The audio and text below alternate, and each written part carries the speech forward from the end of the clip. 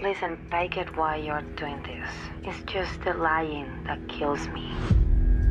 I need you to know that you can tell me anything, David. David? Yeah, I gotta call you right back. Is everything okay? Yeah, everything's fine. Okay, I love you. Bye. Hey! What? Look!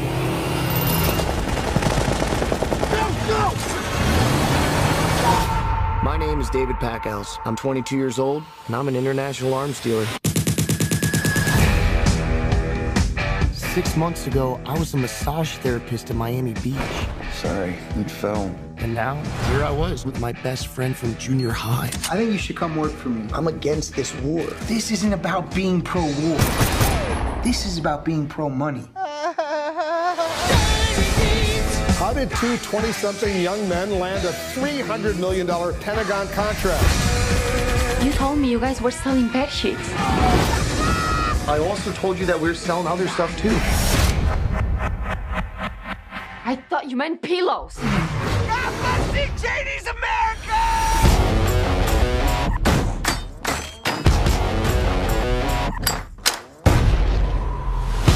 Hundred million rounds of AK-47 ammo. You can fill the whole order. I'm barred from doing any business with the U.S. government. I'm on a watch list. You're on a terrorist watch list? Do you work for Homeland Security? Relax, bro. This is the job to do business with the people the U.S. government can't do business with directly. No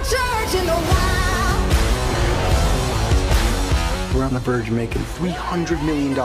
Is that legal? It's not illegal. I'm not a bad man. But in certain situations, I have to ask myself, what would a bad man do?